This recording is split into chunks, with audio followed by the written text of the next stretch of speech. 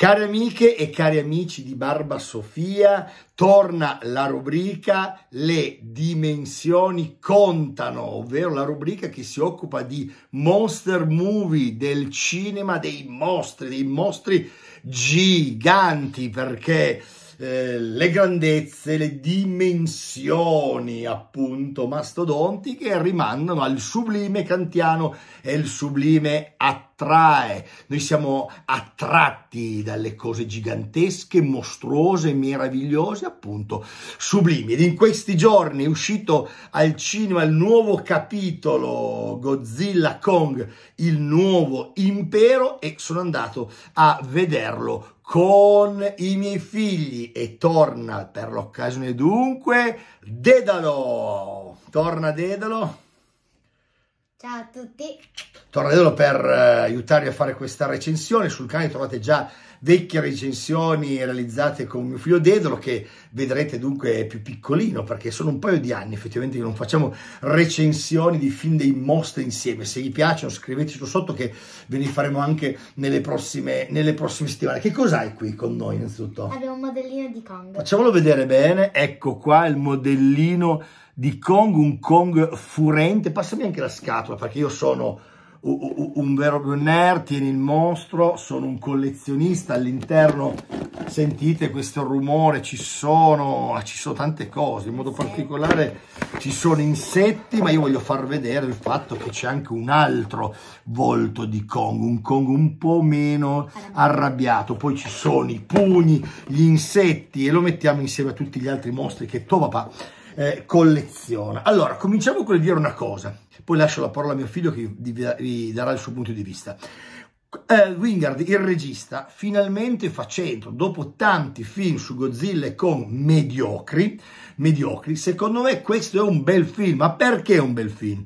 Perché al centro ci sono i mostri. Il regista ha tagliato drasticamente le parti in cui gli umani provano a dialogare, a dare un senso filosofico, metafisico, storico-politico alla vicenda eh, e i mostri invece sono al centro di grandi battaglie e anche di relazioni affettive, ma i mostri senza quei dialoghi imbarazzanti che di solito caratterizzavano i precedenti monster movie. Dunque il regista fa centro, ci sono alcune chicche da Godzilla che dorme al all'interno del Colosseo, alla battaglia finale sulle spiagge eh, di, di, di, di, Rio de Janeiro, ci sono veramente delle sequenze bellissime, ma la grande novità è che i dialoghi sono pochi, sono anche abbastanza divertenti, vero? Alcuni sì, sì. Perché ci sono del, dei dialoghi con battute che a volte non storno, sembrano proprio messe lì a casaccio. Questa volta invece le battute tra i personaggi reggono, o comunque sono meno imbarazzanti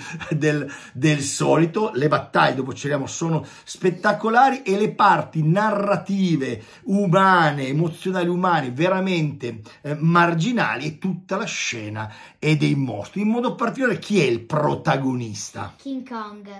Perché eh, King Kong? Perché se fosse stato Godzilla il film sarebbe durato molto presto perché. Godzilla cominciamo a dire che, che, comunque è il mostro, il kaiju più potente di tutti dunque Direi. la forza che, che, ha Godzilla è tale per cui quando la scatena ovviamente non ce n'è per nessuno dunque gli sceneggiatori, i registi devono sempre trovare il modo per far sì che per queste due ore di film Godzilla a un certo punto o sia ai margini o sia addormentato, ghiacciato, glaciato eh, o che sia appunto lontano o che, o che abbia un, per un momento momento no, qualche inibizione o che ci sia un avversario che possa ingannare, perché quando scatena la sua forza chiaramente Godzilla è imbattibile, però questa volta c'è molto di più perché c'è una nuova idea, c'è una nuova terra, qual è Daddy? C'è King Kong in questa terra che si chiama Terra Cava. E un giorno, eh, visto che si sentiva solo, è andato esplora in esplorazione e trova questa terra che l'uomo non ha mai esplorato. Perché gli umani entrano in questa terra, la terra cava, hanno messo Kong perché non può stare vicino a Godzilla, dunque nella terra cava c'è Kong e in superficie c'è Godzilla, incontra chi Kong? Incontra Soku. Soku, una novità. Che mm, è il figlio di Scar King che all'inizio uh, stava combattendo contro King Kong, però poi si unisce con King Kong eh, contro Scar King. Scar King chi è? Scar King è, ehm, è il capo del regno nuovo dei Kong. Di tutte le scimmie, una scena clamorosa. King Kong, con questo piccolo Kong giunge in un regno infuocato come fosse il centro della terra. Io impazzisco ogni volta sul centro della terra perché ricordo i romanzi miei no, eh, giovanili, mie letture giovanili di Jules Verne. Si giunge al centro della terra e c'è una terra di con centinaia, centinaia di con dominati con un cattiveria, malvagità da un tiranno che appunto eh, Scarchi in questa scimmia rossa, nuova, nuova, che combatterà con Kong eh, fino, fino, alla fine. Insomma, vogliamo dire come finirà il film, chiaramente è chiaro, sapete che sono i buoni, perché anche qua tra i mostri ci sono i buoni e i cattivi. Dunque la novità è questo regno nel centro della terra con scimmie scimmie schiavizzate da, da Scarkin. Ma Scarkin conta sulla forza di chi? Su, ecco stavo per dire, su un, un mostro di ghiaccio, appunto, eh, per farlo sfidare contro eh, King Kong, ma non saprà che arriverà anche Godzilla. Tanto dunque questo mostro che di, di solito è un rettile, come se fosse un Godzilla, solo che anziché mandare energia, fuoco, energia atomica poi a Godzilla, al recupero no, della tradizione post Hiroshima e Nagasaki, lancia eh, ghiaccio e Skarkin controlla con un pezzo di ghiaccio proprio eh, questa mm, questa bestia ed è uno scontro tra, tra, tra titani, no? avverrà ovviamente sulla, sulla, Terra perché c'è chiaramente un passaggio che collega la Terra, la nostra in superficie, con il centro della Terra. Tuo, la tua sequenza preferita?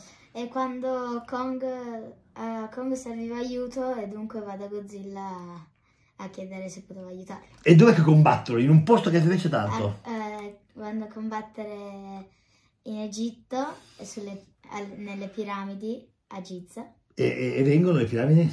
Distrutte. Distrutte. Allora, Kong va a chiedere aiuto a Godzilla, vuole portare Godzilla al centro della Terra per liberare gli altri Kong e, e, e per far ciò eh, lo va a provocare. C'è una battaglia eh, appunto sulla... Modra.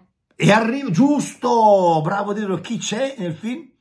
Modra. Modra, viene recuperato un mostro, il mostro volatile, farfalloso, con tutte le sue energie che chiaramente aiuta i buoni, i buoni a, alla fine a vincere, ma questo non è tanto uno spoiler che i buoni dicono. Dunque la tua scena preferita è quella quando cammina lungo il Tevere con eh, Godzilla? No. No? È quella dove King Kong va a aiutare cioè, chiede aiuto a Godzilla. Quando chiedi aiuto a Godzilla, ma non ti piace quando Godzilla cammina nel, lungo il Tevere sì, e poi va a dormire? È molto divertente anche, anche quella, quella scena. Dunque, noi vi consigliamo. Che voto dai tu? 9 su 10. 9 su 10, beh, lui ci sta, eh.